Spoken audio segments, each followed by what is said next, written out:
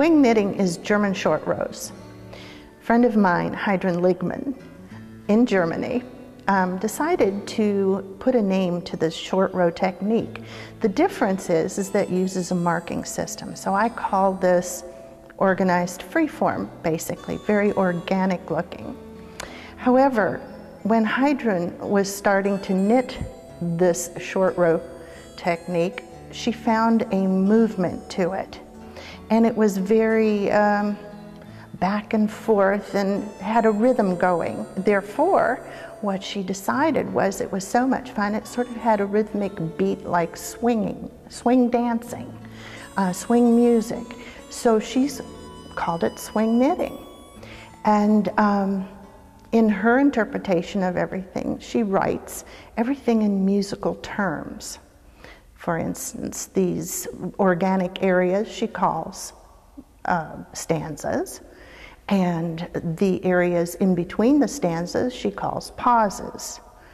The formula she calls her melody, and on and on and on. So, hence the name swing knitting.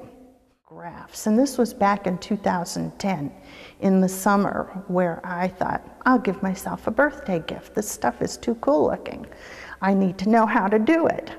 So that's how it started. What I did was I noticed that on the website for Gabi Kluge, who comes from Berlin, she's the one who had offered this class.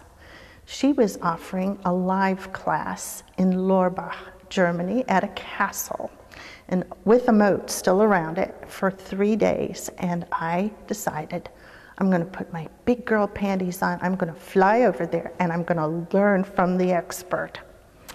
And that's where I met Heidrun.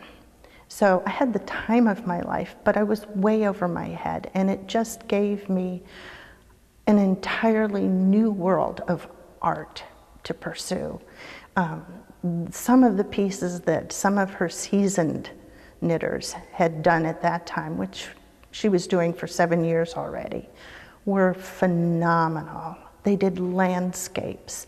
And this happened to be a landscape class where you actually blended single strands of yarn to create colors. Three weeks later, Heidrun contacted me and asked if she could send something to me and have me take a look at it. It was her workshop that she had been working on to introduce people to swing knitting, which is what she called it. I asked, would you be willing to allow me to use your material to present it to some, you know, in classes here? Well, she said, absolutely, I want this thing to grow. And that's how we started. I think the biggest thing is is finding other people that get equally as excited as I do. You can apply this to almost anything that you're knitting. If you're knitting an accessory, say like a scarf, you can put a patch of this organic look in your scarf or shawl or even a handbag. You can felt it in, which is fantastic too. You know, using a wool and then making these wonderful handbags with felted wool with all these organic areas. Um, you can add it to a jacket, a sweater, a skirt, you name it. You can add it to socks. By choosing different colors, you can have a totally different looking garment of some sort. My eyes dance. no matter where I go, they're always looking um, at what what someone else has put together. Uh, I like things that flow. I like the creator's paintbrush. to, to be quite honest, all I have to do is just look at even a magazine. Um, there are some fabrics and fabric stores where certain colors are used together, and I'm going, that's really great. I love that combination. Have a blast. Just let it go. Don't get all caught up in, oh, I have to do this here or that here.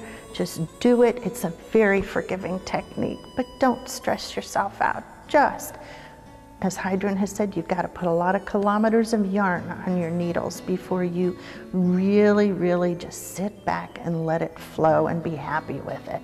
So don't give up. You can do it. Just do it, you know?